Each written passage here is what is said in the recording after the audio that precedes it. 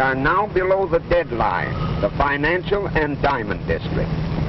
Here there are more diamonds by the square foot than any part of the world, including the Transvaal.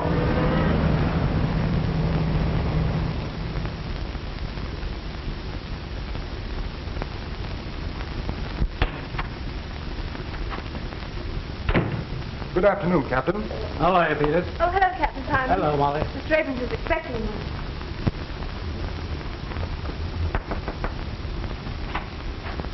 Captain Simon is here.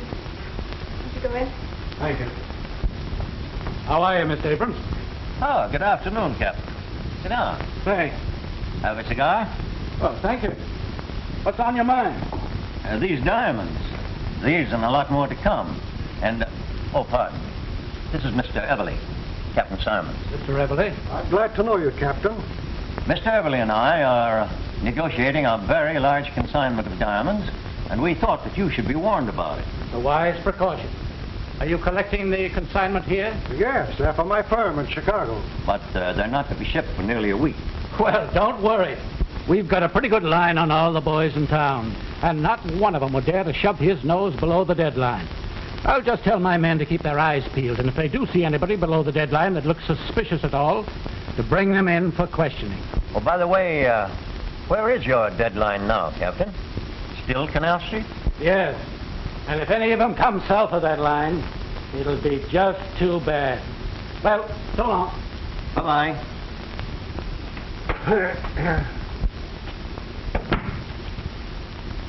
Well, I know where to get a nice solitaire for you, Molly, as soon as you give Terry Mulvaney the gate. You'll be too old by that time, Captain Simon. Oh, you're never too old.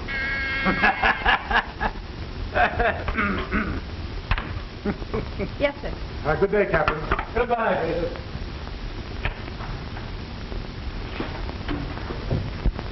Oh, Miss Fitzgerald, would you mind working an hour or two later tonight? Certainly not, Mr. Abrams. Then as soon as you're through, bring in your notebook.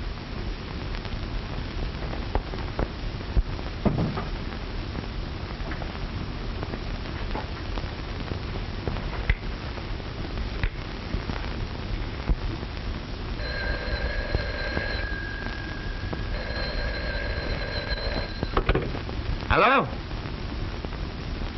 Hello, Molly, my darling. Terry, dear, I have to work late tonight, so don't wait for me. I'll have supper downtown. You can meet me near the subway entrance around 9. sure, darling, I'll be there with me buttons all shine. Right.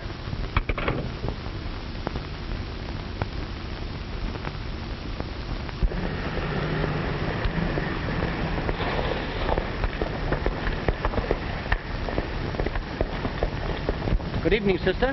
How about a lift?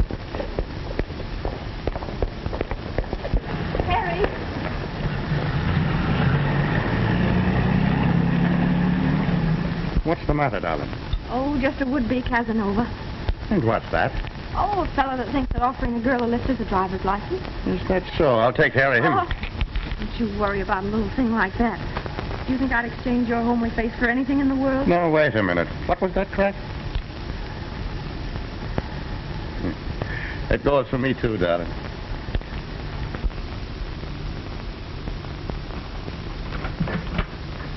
Hello, Annie, dear. Well, good evening, Miss Tiverton. How are you this evening? Why do people always think it's polite to ask silly questions? Well, well, look who's here. Single. Have you had your supper? Yes, thank you. Hmm. Glass of milk and a sandwich, I suppose, standing up at some lunch counter. Oh, well, this rush will soon be over, and then I'll have my evenings to myself again. Would you like some tea, Terry? Uh-huh. I'll go fix up. Are you still here? I thought it was time for you to be going home instead of coming here visiting. Well, I suppose it is a little late for elderly people, but Molly and me won't mind if you want to go to bed. If you expect me to resent that, you're wrong. Why on earth don't you sit down? You've been on your feet all day, haven't you? By golly, that I have. The poor dogs. Every time I make them walk, they, they get sore. And when are you going to get this advancement you're after? Well, the exams are in June, and by July you'll see me a full-fledged detective. Then crime will automatically cease, I suppose. Oh, no, not immediately. You see, there's the honeymoon first. Terry Mulvaney, if you don't make Molly the happiest wife in the world, you'll have me to answer to. It won't be for the want of trying. Molly needs a rest. That man Abrams works her too hard. I don't know what people want with diamonds anyway. Useless things. And yet if they can't buy them, they steal them. Oh, no, not much chance these days. Rot. Half the crimes in the world are never solved. Well, here, let me hold it for you. Well, at last I found a use for a policeman. Oh, I don't know. Molly found one. Did you ever try it? Are you two still bickering? Here, let me help you. Well,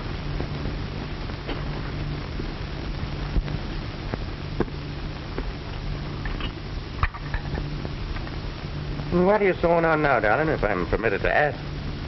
Pillow slip, Mr. Mulvaney, for that red head of yours. you'd think you two were married already. When I was a girl, no young lady would have said such a thing. Did you faint too, or was it swoon? I think you'd better confine yourself to questions of more importance. Have You got your book, Terry? Oh, yes, sir.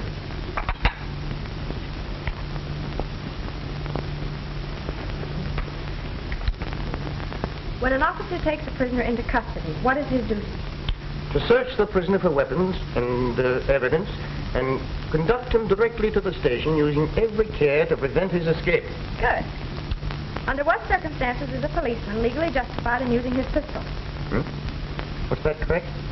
Under what circumstances is a policeman legally justified in using his pistol? And let me tell you, Flash, even if she wouldn't give me a tumble, that Fitzgeraldine can have my role anytime she gives me the come on. What she got that the others don't have? Oh, boy. She's got everything. Hold on, Spike. We're not mixing pleasure with business. She didn't fall for you. So now we got to find out some other way when Abrams is going to ship those diamonds. Rocks fascinate you, don't they? How do you think I got the name Diamond Dutch? Chasing after fluffs? Maybe not. But I never saw you pass one up. Right. But when there's a job on hand, I don't play with fire. You never saw me get burned. Well, I'm getting penny burned right now. Here we are, all set to make the biggest haul that's ever been pulled. And all you can think about is some dame that you've never even seen. But I'm going to see her. Tomorrow, I think. And we better call the whole deal off. When you fall for a new fluff, I know what happens. So do I. But I can also defer the pleasure to an appropriate time. Don't worry, Dutch. I've seen her play a fish for months before she took the hook.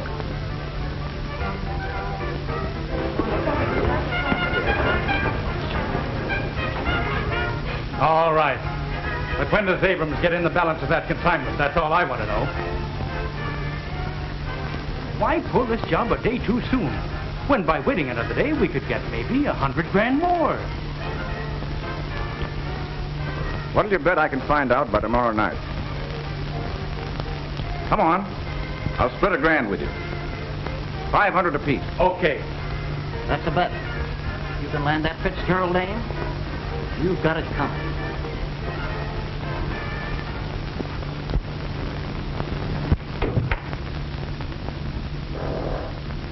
Mr. Ackroyd? Right, young lady. And you are Miss, uh, Just Mr. Abrams' secretary. Will you wait a moment, please? with pleasure. I come to look for a diamond, and behold, I find a pearl. Uh, careful. So many synthetic pearls on the market these days. Ah, but then I'm an excellent judge. Professional, I would think. On the contrary. Amateur in its literal sense. Mr. Abrams, Mr. Ackroyd to see you. Will you go in, please?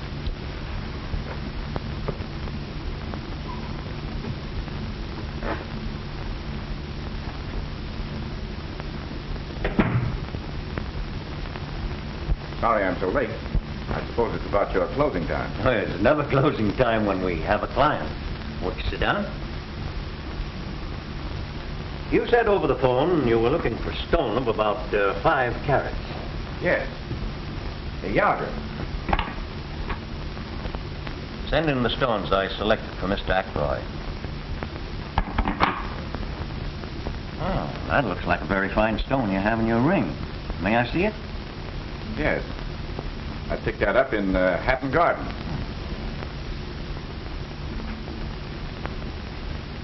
My, you know diamonds. It's Perfect. Can you match it? Well, you can judge for yourself.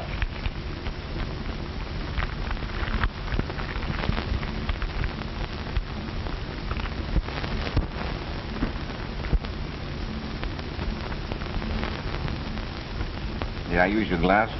Certainly.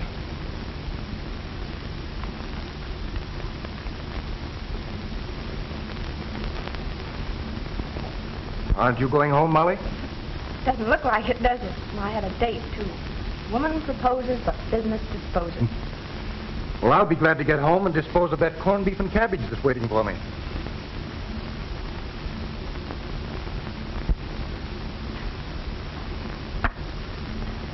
These are the best. But neither is as good as mine. I'm afraid you're right. But I shall have more in Thursday. And I think finer ones. Could you call then? I'm not sure, but um, I think I could make it Friday. Well, I'm very sorry, but they'll be gone then. Tell you what I'll do. I'll give you a thousand for that one.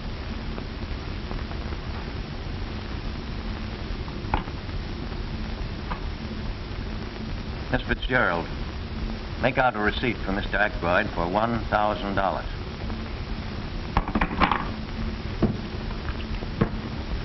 So that's that.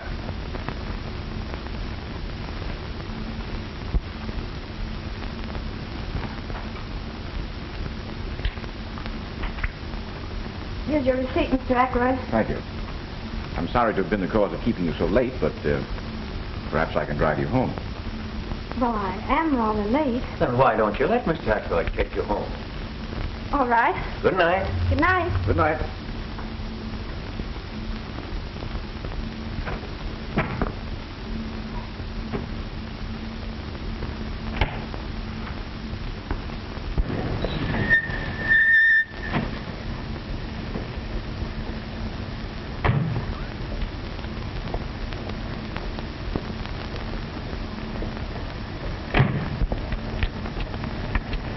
Thanks a lot. You see, I'm not so bad.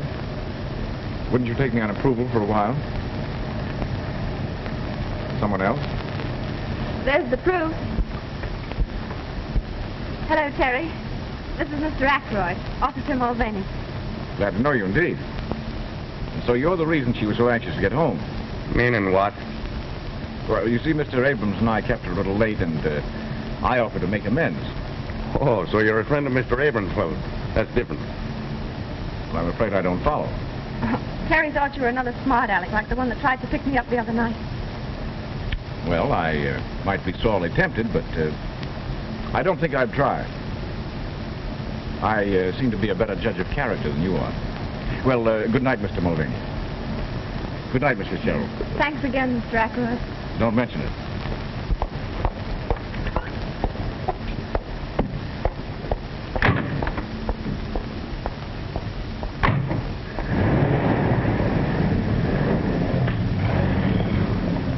What's the matter? You don't seem to like the gentleman. I do not. Oh, Terry, you need never be jealous of me. As a matter of fact, I only accepted his offer so that I wouldn't keep you waiting. Well, who is he? All I know is that he just bought a diamond for a thousand dollars. Hmm. I thought he was another one of those mashes, like the one last night. Uh-uh. I'm not that foolish. You're in love with me, ain't you? Uh-huh. Yes, Spike? You're right. She had to be seen to be appreciated. Yeah, I thought she'd appeal to your sense of proportion. Yeah? Now I have another object in life. And now uh, Stenog appears with a hundred grand, huh? You'd better dig for 500, Dutch. You too, Spike. Did you find out? I not only got a good look at the office, but I found out that the consignment will be complete on Thursday night. To top it off, I drove the young lady home. That wins the bet, I think, Dutch. You're a wonder, Flash. Yeah? Well, it cost me a grand to do it. I bought that one. Only worth 800. Oh, I'll get most of it back. Take a look at the girl's writing, Spike. Could you imitate it? So she couldn't tell the difference herself. What's on your mind? She seems to prefer an Irish harness bull to me. And what, he says? Oh, so you're a friend of Mr. Abrams. Well, that's different. Begor, I'd like to push the ugly mug of him down his own throat. All right, forget it. We got to think about this job ahead of us. That's just what I'm doing, Dutch. When you're pulling a big job, it's always safer to have some goat to take the rap. Sure. It satisfies the public and gives the cops a chance to save their faces. Right. And this is where I kill two birds with one stone. Officer Mulvaney will be the goat, and Miss Fitzgerald will be... In circulation again. But how are you going to do all this? Easy. Just practice on our handwriting, Spike. And we'll send Terry a billet-doux on Thursday.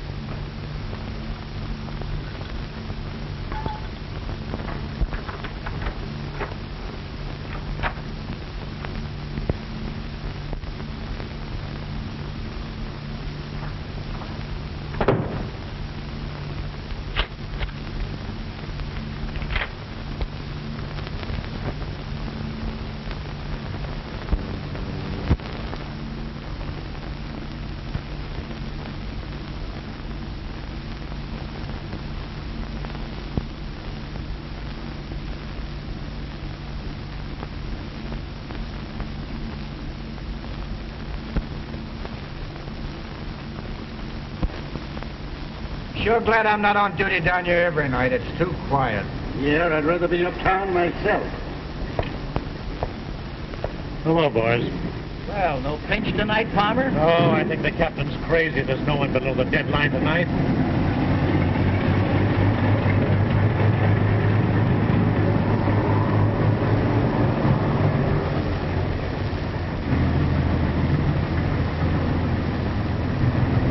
Five thousand bucks worth that have to be towed in. Yeah, the best of them cracked up. Give me my old flivver. It's never let me down yet. Fetch wood. Better make the rounds again, boys. Okay, see you in jail. Right.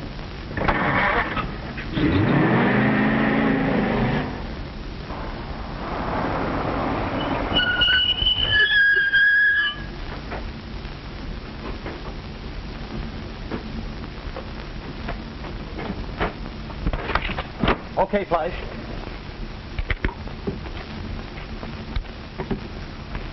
See anybody?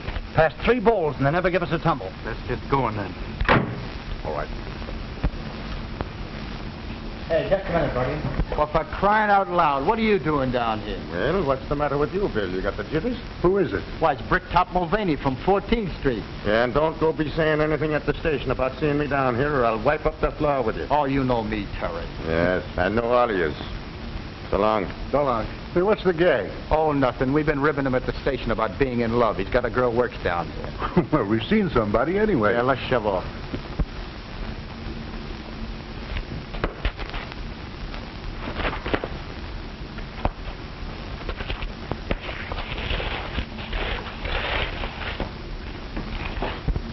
Number 47, Fishfield Necklace. Check. Number three. Miss Fitzgerald, call the express company now. Number 54, tray of 15 brooches. Check. Number four. The line seems to be dead. What? Stick 'em up, all of you.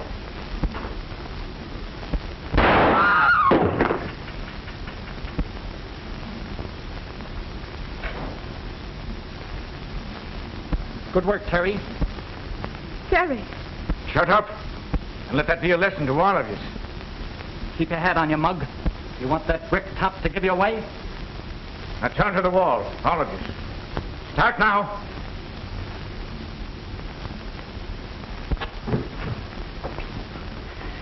Move over. Keep 'em up.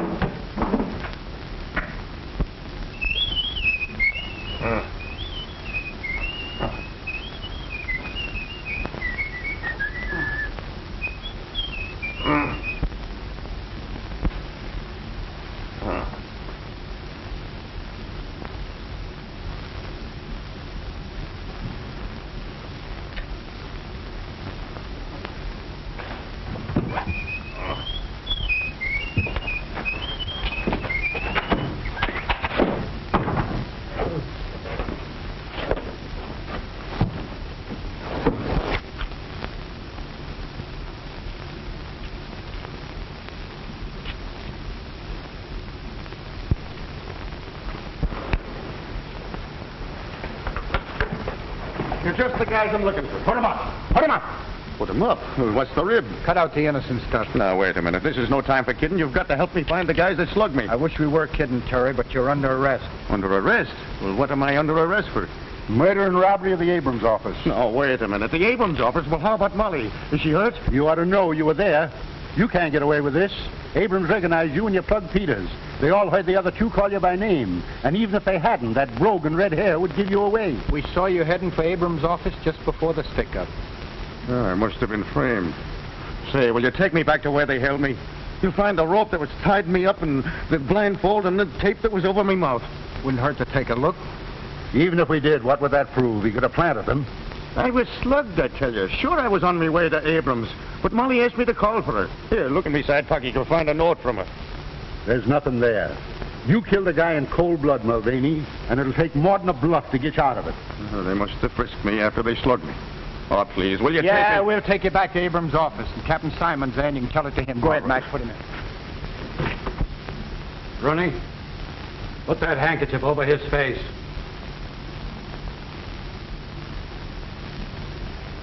Now, we've got you, Mulvaney. You might just as well confess. But it couldn't be Terry. Well, naturally, you wouldn't admit it. But I don't think it'll be very difficult to prove that you were his accomplice. Now, you leave her out of this. Mr. Abrams, is that the man who led the hold-up men? It is. Without a doubt, it is. I've seen Mulvaney many times. I couldn't be mistaken. Mr. Abrams, are you sure that he is the man that shot Peters? Yes, I'm sure he is. I was slugged, I tell you. All right, Bill. Take him away and lock him up. Oh, Terry. Terry. It isn't true, darling. I was framed. and I'm going to prove it. He's just putting on an act. Take him away. I have a few more questions that I want to ask you. Don't let them bully you, Molly, and don't you worry about me.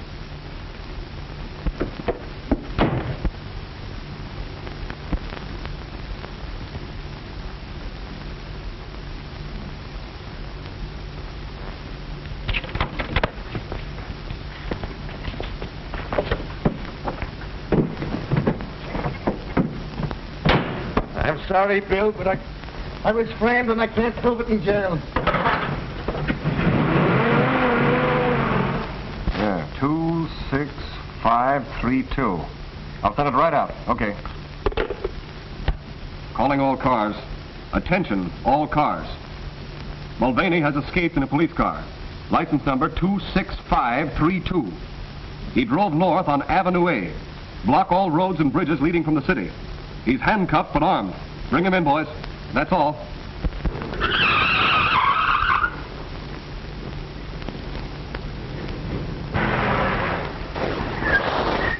Yes, sir. What can I do for you? There's nothing to be scared of, buddy. You do what I tell you. I want you to cut these handcuffs off me. Yeah, but what'll they do to me for helping a prisoner escape? You're helping an innocent man, and you'll be glad of it one day. Come on, hurry up.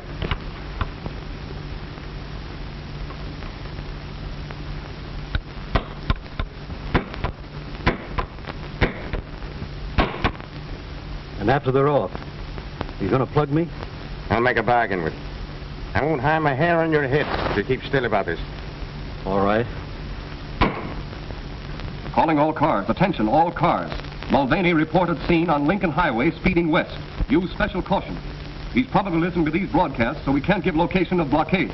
That is all. Come on, hurry up. Repeating broadcast 47. Mulvaney reported seen on Lincoln Highway speeding west. Step on it, Dave. We must be right on his tail. Thanks.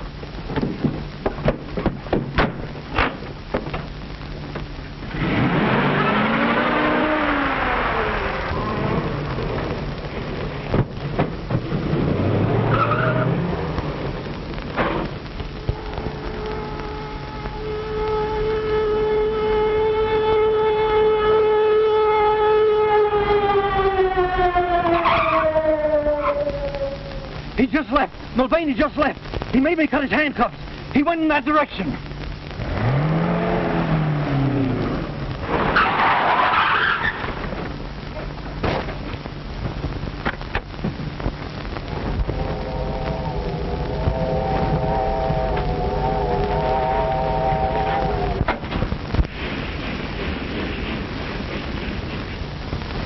Wait a minute, look at your time, people. You belong in these parts? No, just this one. What's the next stop? Don't you know what train you're on? Oh, sure. The train. no. You gotta go back to Hopewell Junction to get that.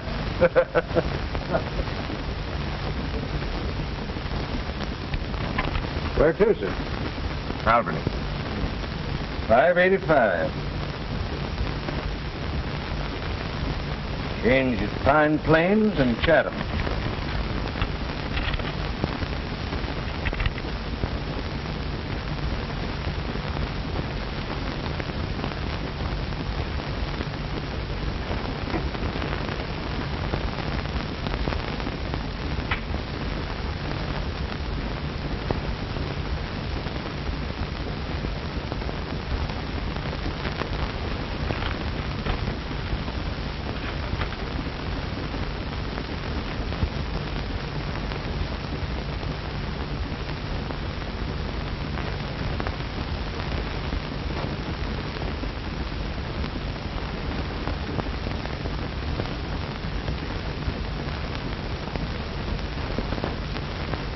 Got this police wire at Billings.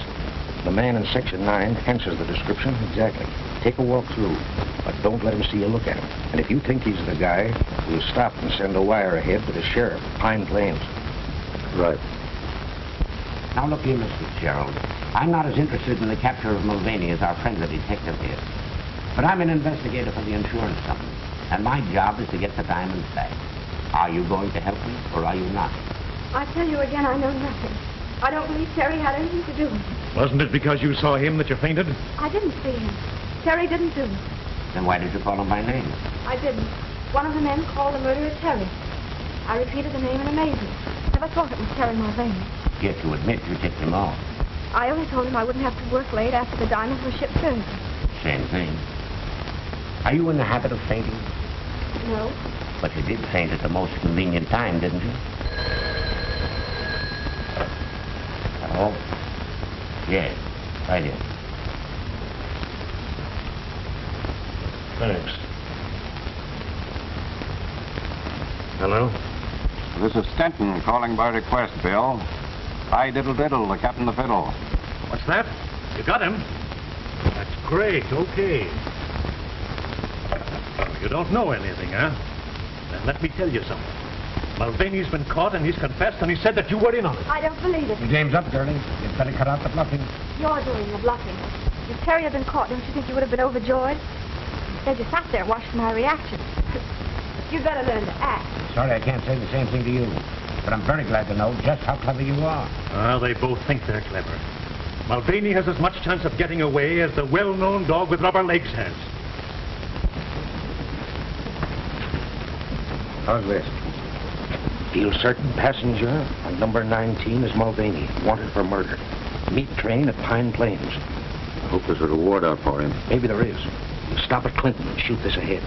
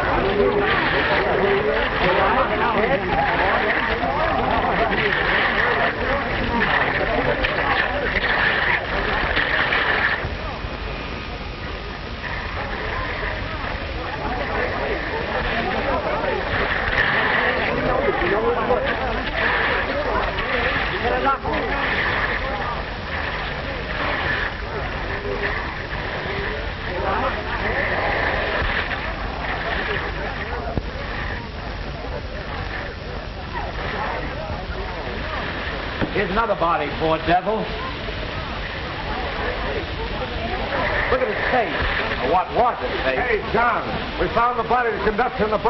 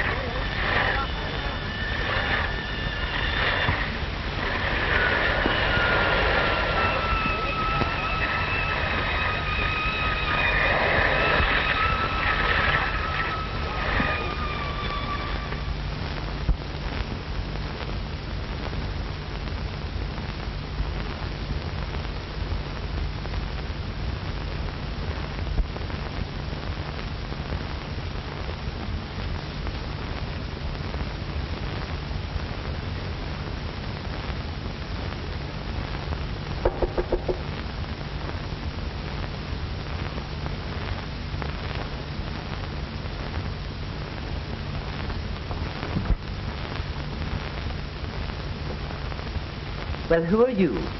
And who asked you to come in? If I waited to be asked, I'd be on the outside most of the time.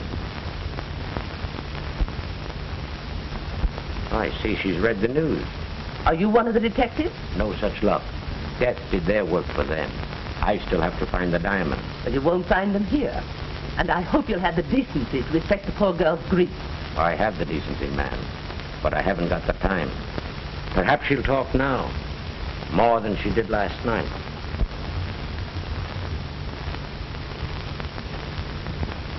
Are you ready to talk now? What do you want? You know what I want. The diamond. Can't you leave me alone? Can't you understand anything? Terry didn't do it. And now he can never prove it. He proved that he did do it, you mean? Do you think that getaway of his was an act of innocence? Not on your life. He was innocent, I tell you.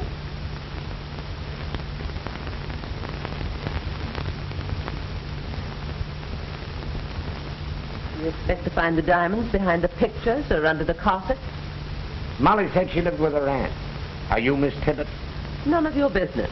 I make a lot of things my business. In fact, I sometimes act like an old woman. Oh, no offense, madam. No offense. If you think you can get me angry that way, you're mistaken. And if you're through, there's the door. Who were Mulvaney's Confederates? He had no Confederates. He didn't do it. He didn't. Come on now, Molly. Terry's dead. See those guys that let him down and get all the gravy, do you? I don't know what you mean. You know what I mean. Those fellas that framed him. That's why they called him by his name. You don't want to see them split Jack while Terry ain't cold. Stop it. Don't you think I've suffered enough? Yes, you did. You who killed him. You with your false accusation. You drove him to it. Somewhere the real criminal's laughing at you, laughing at your stupidity. I'd laugh too. I'd like to laugh, but Terry, the joke's on him too.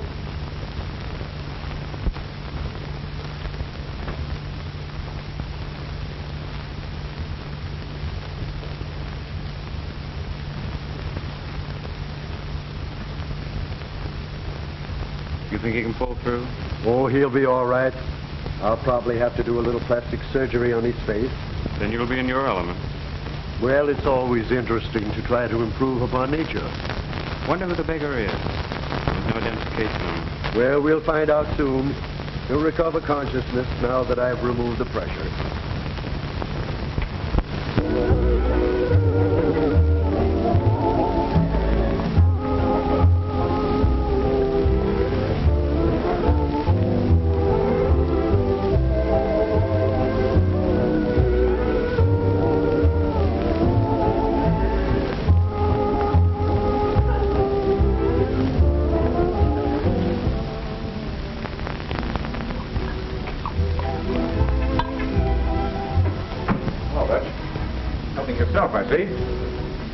Long suit.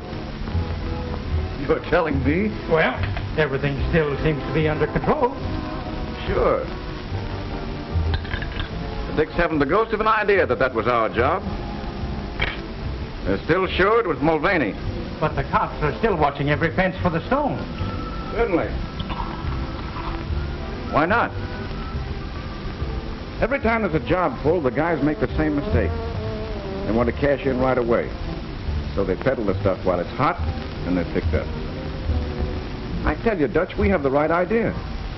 Handle each job like a legitimate business. And don't expect any profits for the first year. And that's why we're still in business.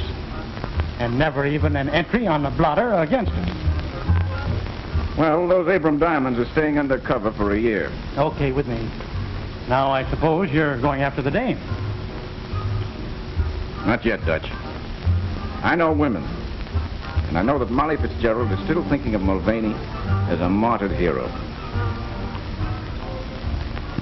Nurse tells me that you're feeling a little better. Do you think that you can answer a few questions? There was no identification in the remains of your clothes, so we don't even know your name. O'Malley. Ted O'Malley. Ted O'Malley.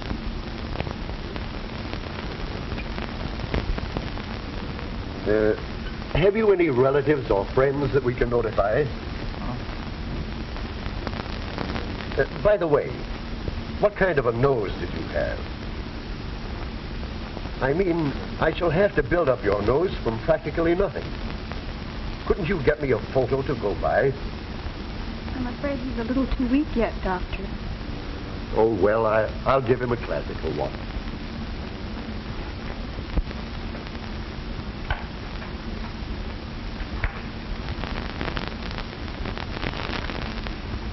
Jennings, if I thought I had any brains, I'd blow them out. What's the matter? But wouldn't it be a terrible thing to drill a hole in one skull and find it empty? Am I to gather that you're still thinking of that Mulvaney case? I start up in the middle of the night thinking about it. I'm afraid your vanity is wounded. Wounded, it's mutilated. So much time has passed and not a single clue. And a fortune in diamonds disappears. Strange case, all right. I'm going to see that Fitzgerald girl again. I think she must be bluffing.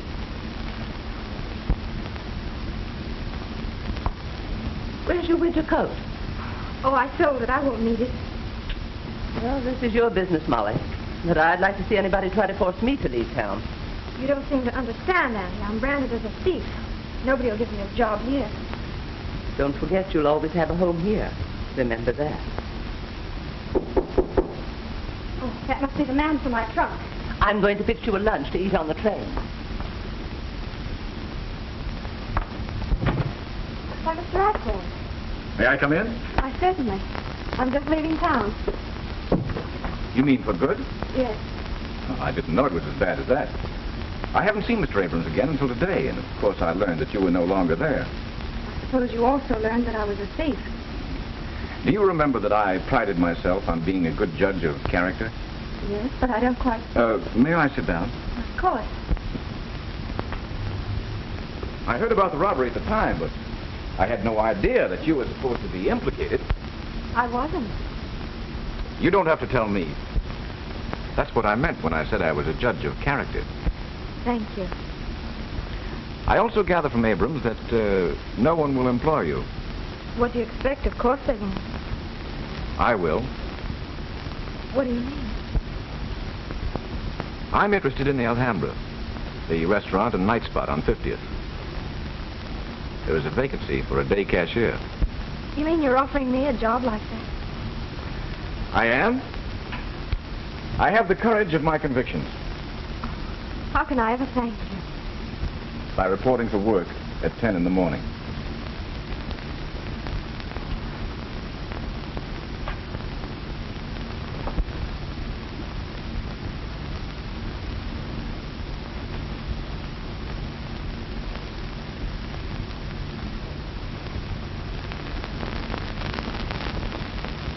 Yes, we, we can leave the bandages off now. sure, Doc, and that won't make me mad.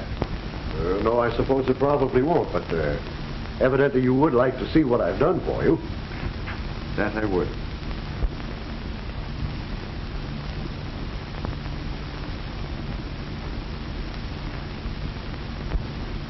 Well, O'Malley, how have I done? Hey! Don't break all my fingers. Well, Doc, that's exactly how I feel. and I doubt very much whether I'll ever be able to again. But evidently you you approve. Tell me, is it as good as the original? Well, Doc, I think it's a bit improvement. And if it wasn't for me head, I wouldn't even know myself. Well, you know, you you really could dye that and have a little joke with your friends. Huh? Oh, yes. It would be a joke, wouldn't it? Well, I'm really glad that you're pleased. And the railroad company will be too. You'll probably let them down easier. Uh, what do you mean? Why, the insurance adjuster has been here several different times. They offer to settle with you for $2,000 in cash and all your hospital bills. Two thousand dollars. Yes, and you won't have to go to court and give half of it away to some attorney. Two thousand dollars. Well, that would come in handy. Why, yes, of course it would. Uh, incidentally, here's uh, the check that the insurance adjuster left and uh, also his form of a release. Uh, you can sign that if you care to. It's entirely up to you. Doc, I wonder if I could have that in cash. Why, I, I suppose so. Just endorse the check, and I'm quite sure they'll cash it.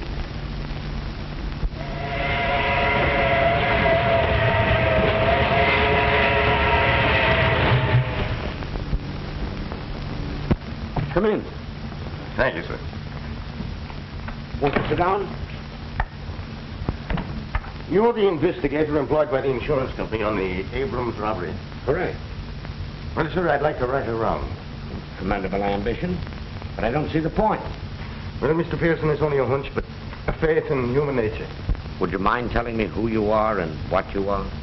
Well, I'm just a dumb pug. I'm training over here at Artie Nolan's, and I come from Colorado. And I had a brother here on the force, and he got into a bit of trouble. We were pals from the time we were kids, and I'm sure that he'd never do anyone any harm. Mr. Pearson, that man was Terry Mulvaney. Mulvaney? Yes, Terry Mulvaney. Now, I have a bit of money, and I'd like to use it to clear his name. Have you seen the police? No. The cops are only looking for convictions. He was wanted for murder. His death closed the case. Now, you have no axe to grind or politics to play. That's right. I'm a private individual, responsible only to myself and the insurance company. And your object is to recover the stolen property. Right again. You may be a pug, but you're by no means dumb. Now, your brother told a queer story to the police. But if his story was true, who framed him? And what reason could they have? That I don't know, but it gave you and the cops a wrong steer, didn't it? Hmm. oh, thank you, sir. By the way, you happen to know where I can find his gal? I don't know her address, but her name is uh, Fitzgerald. Just a minute. I'll look it up for you.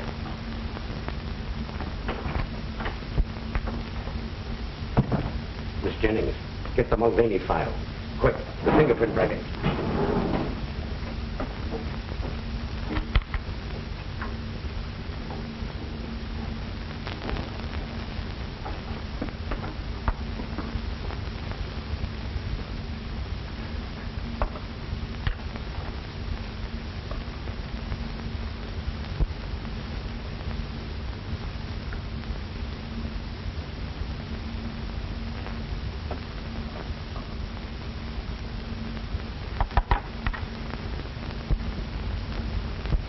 Identical. He's our man.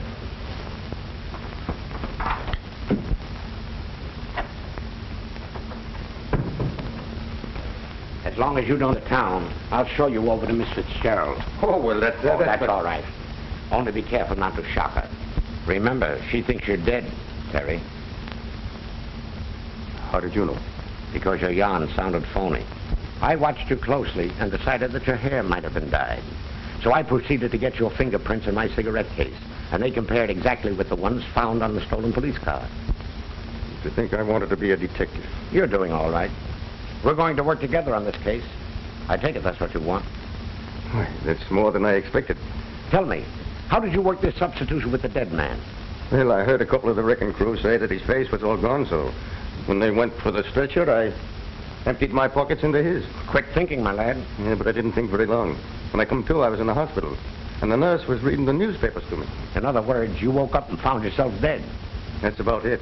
Well, you've awakened to plenty of worry, and we've got to solve this case before the police get on to you. they won't ever get on to me, because I really have got a brother, Ed, in Colorado. Does Molly know that?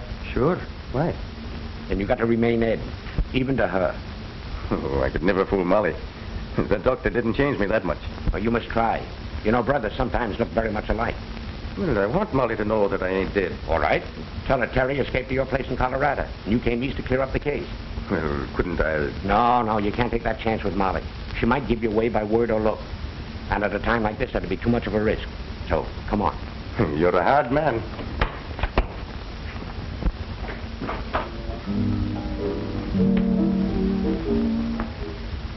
We saw Pearson outside talking to a guy. Pearson? Oh, the insurance company's loose. Forget him. What'd you find out? Well, we can get rid of a few grand's worth. It's safe enough now. You don't think Pearson means anything? Not a thing. He used to park on Molly's trail, but he's given that up. And I still claim you shouldn't have given that dame a job here. Why? Well, Fluffs have brought down bigger guys than you, Fred. Oh, forget it. Pour yourself a drink.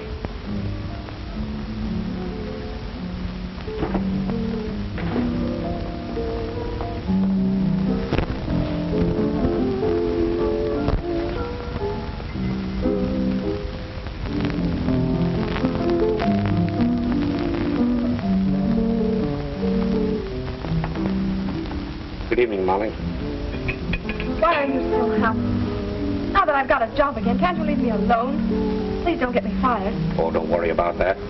I just wanted you to meet a friend of mine. This gentleman here has convinced me that Mulvaney was innocent.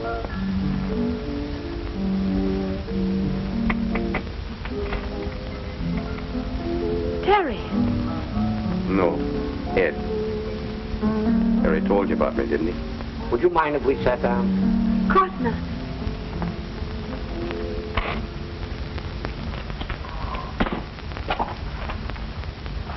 Terry did tell me about you, but you might be his twin.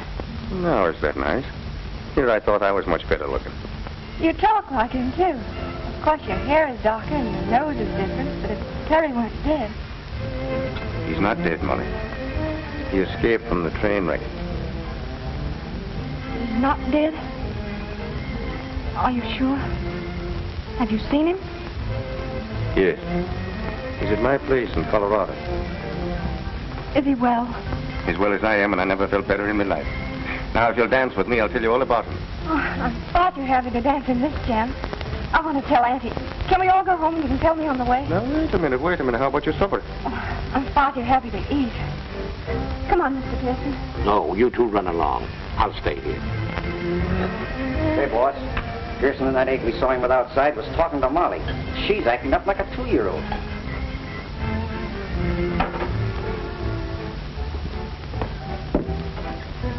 Now, don't you get scared the next time you see me. Good night, Ed. And you be careful. Careful of what? Oh, you know, a nice young fellow and a pretty girl and a romantic moon. Must I tell you the rest of that? Come on, Mr. Mulvaney.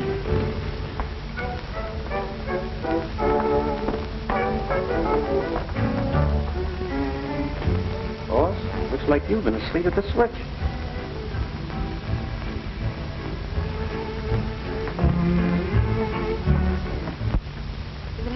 Mr. Ackroyd's kindness, I'd still be out of work. Isn't that right? That's right. Now, look. If it's some money that you're needing, I... oh, no, I couldn't think of it. I'm doing nicely now. Young man, your heart's in the right place, but I can't say the same for your brain. And Mary. Now, wait a minute. Maybe Miss Tibbet is right. I'm always right. I objected to your brother as a policeman, but no young man in his senses would ever take up prize fighting as a profession. Look now. How about Gene Tunney? He seems to have done all right for himself. As soon as he got any sense, he quit. Just the same, I want you to know that you brought more happiness into this house than's been here for many a day. I like you. Thanks. You know, that goes for the both of us, and if I wasn't in love already, I'd be asking you to marry me. Oh, go along with you. You're just another Terry yourself. Good night, and God bless you.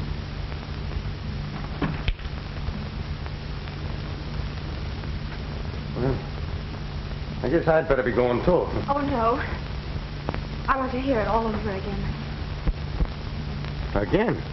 Well, my dear child, I told you in the taxi, and I told you in the park, and I'm just after telling your Aunt Mary here. I know, you're a darling. I didn't mean to say that. Well, what's wrong with calling me a darling? I don't know. Something just came over me. I suppose it's because I'm so grateful to you, Mr. Mulvaney. I thought you promised to call me Ed. What's the matter? I don't know. Ed, I seem to have known you forever. just the way I want you to feel. You don't understand. Please go.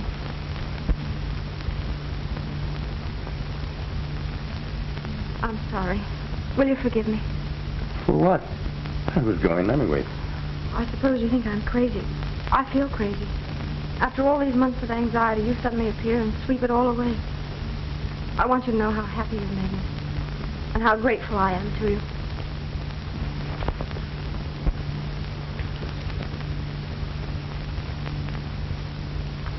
You shouldn't have done that. You misunderstood. I think not. But it isn't fair. You know I'm engaged to Terry, and you said you were in love with somebody else said no such thing. You did. You told Aunt Mary. You meant? All fair in love and war. Good night, Molly dear.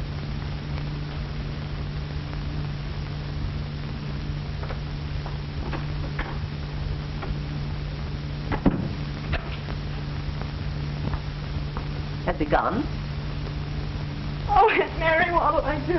What's the matter, Molly? Oh, I know it's terrible, but the boy, the manner of him. I felt sure it, Sure of what?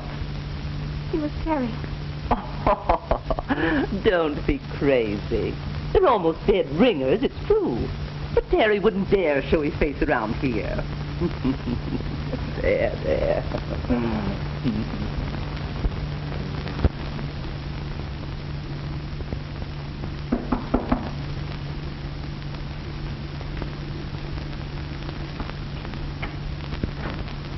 You sent for him, Mr. Ackroyd? Yes, come in.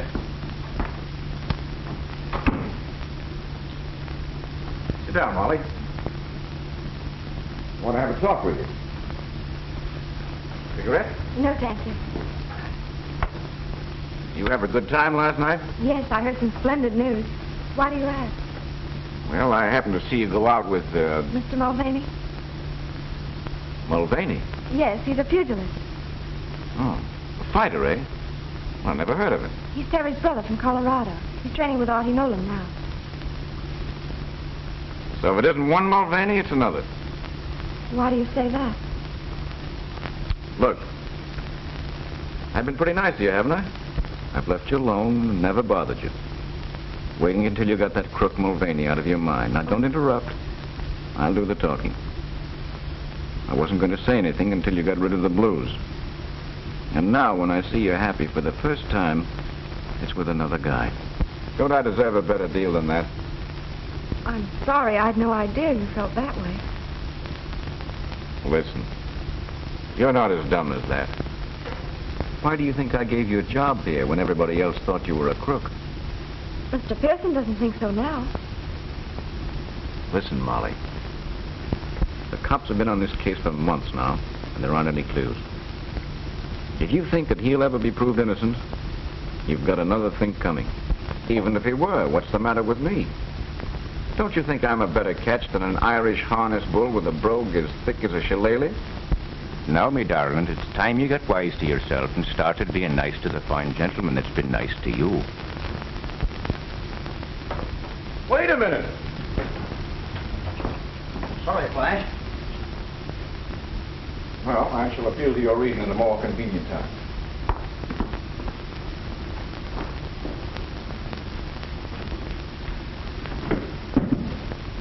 You mean to bust in on the party? But what about the stuff? Dutch has got a deal to unload the whole lot. And the guy's waiting. I think we'd better wait. Molly was just telling me that Pearson is off the Mulvaney angle. What do you mean, off the Mulvaney angle? That's what I want to find out.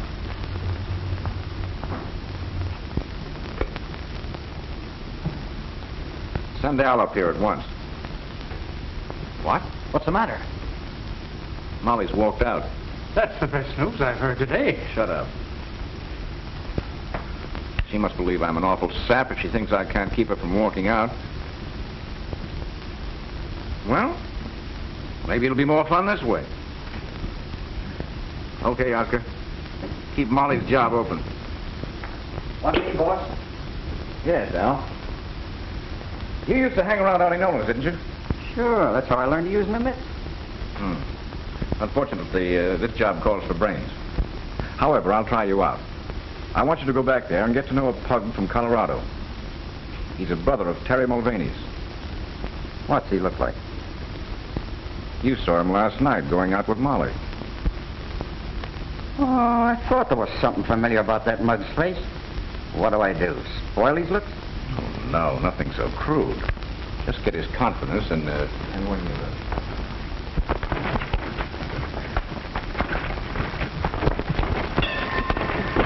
All right, Ed, you're shaping up fine. Now, let's call it a day. Thanks, Artie.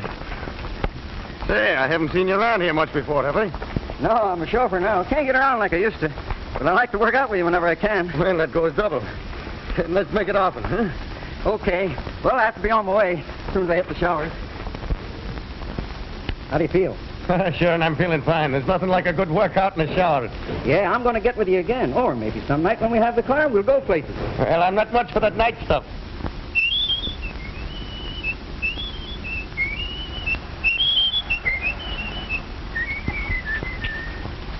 Say, who is it you work for? Flash Ackroyd, the guy that owns the Alhambra. Oh, that's funny. I met a gal that works there. She used to be engaged to my brother. And boy, did I fall for her. What's her name? Molly Fitzgerald. You mean she used to work there? Well, what's the matter? Was she fired? She walked out. Didn't you know? Oh, I haven't seen her today. I, I can't see why she should quit. I don't know. Search me. Looks all right to me, boss. Bit of a sap, maybe. Admitted he'd fallen hard for Molly. He said that, did he? Yeah. But what do you care?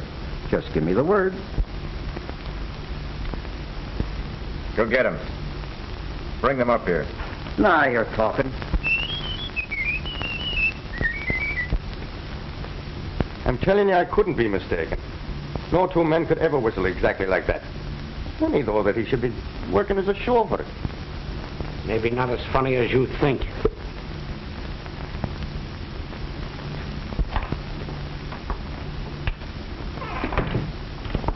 I just got your message, Ed. Oh, you're not mad at me after all, eh? I mean, for... Excuse me? for kissing you last night. Are you going to learn to love me? That's not fair to me or to Terry. I told you before that all's fair in love and war. Repeating it doesn't make it so. Molly, sit down. I want to talk to you. You know, from the first minute I walked into that place last night and laid eyes on you, the heart within me stopped. And then it started to pound like a trip hammer. And that sounds something like love, doesn't it? Not necessarily. It could be indigestion. Once a snooper, always a snooper. That's what I'm being paid for. Why did you walk out on Ackroyd? He said that he had an ulterior motive in giving me a job. How did you come to meet him in the first place? He came to buy a diamond from Abrams. Hmm, that checks. With what? Theory, young man. How long before the robbery was that? Oh, just a few days. Then if he bought a diamond, he got a receipt. Yes, I made it out myself. Better than I expected. Then that would give them a copy of your handwriting. Remember the note from you that Terry told the police about? Yes. Well, that would put Terry just where they wanted him. One of them might have had red hair, or he could have worn a red wig. And if he was able to imitate Terry's brogue... Oh, What's the matter? Ackroyd. Ackroyd gave me a perfect imitation of it. Hmm. And that checks. Somehow I think we're getting places. Do you really think so? Yes, I do. And you needn't worry about a job anymore. I can get you back with Abrams anytime you want. But you'll soon have Terry back, and then you'll be getting married. Yeah, wait a minute, wait a minute. What's that crack? Do you think Molly would take a cop when she has a chance to get an up-and-coming pugilist like myself?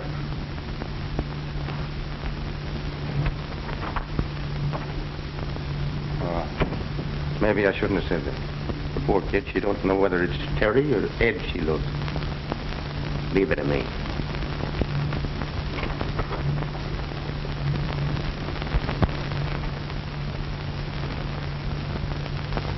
What's the matter, Miss Fitzgerald?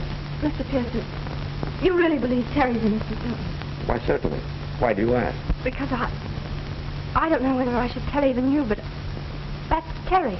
What are you talking about? That's Terry Mulvaney, not his brother Ed. I wondered why I was so attracted to him. I thought it was his voice, but his eyes are the same, too. Go on. It was when he cupped his hand to his ear and said, what's that crack? Then I knew for certain. I tell you, Terry's come back from where I don't know, but I'm afraid. There's nothing to be afraid of. Terry didn't come back from the dead. He came back from the hospital. I've known it all along. Then I've been the goat. I'm going to give him a piece of my mind. Oh, just a moment. It was all my fault. I insisted. I was afraid that, try as you might, you would give him away. He had no right to make love to me. Who had a better right? Nevertheless, you wait. Don't you tell him.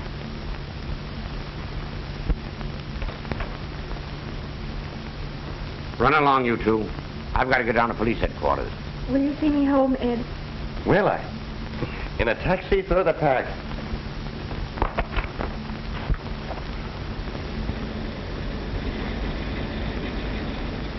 Ed, there's something I must tell you, and it may relieve your mind. well, me darling, you go right ahead and tell me. I've been true to Terry all this time, even though Auntie and everybody said I was a fool. Uh, they did. Yes, and it wasn't until he disappeared that I found out what a wretch he really was. Well, that couldn't be so. It's a pack of lies, I tell you. No, The truth, all right. Well, just show me one black eye that would ever say a thing against me. Well, uh, against me brother. I can show you a dozen. People who bribed him. Girls he wronged. Boy, it's lies, I tell you. It's lies. Well, now tell me what you're laughing at. Terry Mulvaney, alias Brother Ed. Uh, Terry, Mo- it is...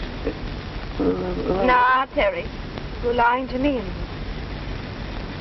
Oh, Molly, my darling. Oh, Terry, what happened? Why didn't you tell me? I was making my escape on a train and it was wrecked. I changed places with a dead man. Oh, Terry, you poor dear. Oh, I was never so rich in all my life. You must think I'm terrible. But it was mean of you not to tell me. Mr. Pearson wouldn't let me. Yes, I know. He told me.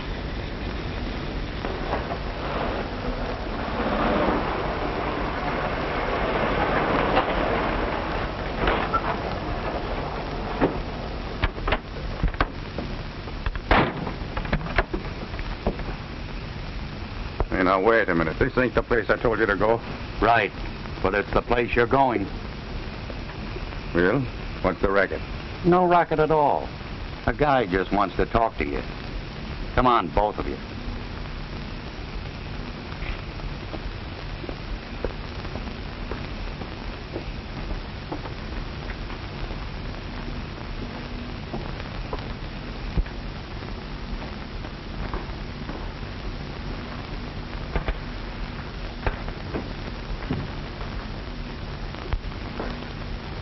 So here you are. Well, what do you want? Just this. I don't stand for anybody muscling in on my territory. Meaning Miss Fitzgerald? You guessed it, Mulvaney. You flatter yourself, don't you? My advice to you is to get out of town tonight. Because if you're here in the morning, you'll be in the morgue, see? As for you, Miss Fitzgerald, you'd better come back to work. If you don't, there'll be a shortage discovered in your accounts. And that, after being mixed up in a diamond robbery, would be uh, just too bad. Just a minute. Throw him out. He gets noisy. Well, you know what to do. But, boss, this guy isn't Ed Mulvaney. What do you mean? I heard him in the cab saying that he had changed places with a dead man. His real name is Terry Mulvaney. That it is. What about it? You're wanted for murder. What are you doing back in town? Looking for the guy that framed me. Still sticking to that story. Who do you suspect now? Who do you think? Got the car handy, Al? Sure, boss. See them home.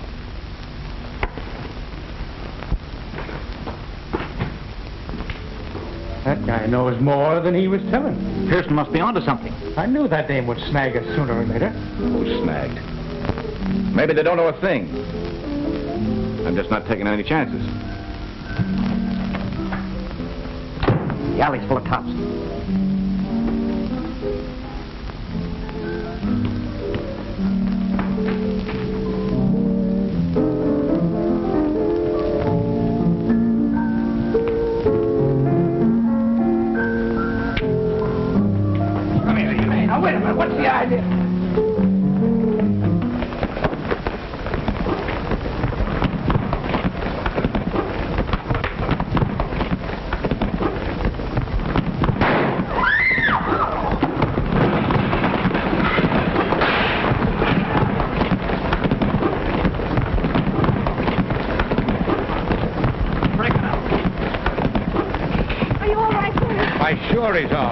What do you think I've been training at Artie Nolan's for?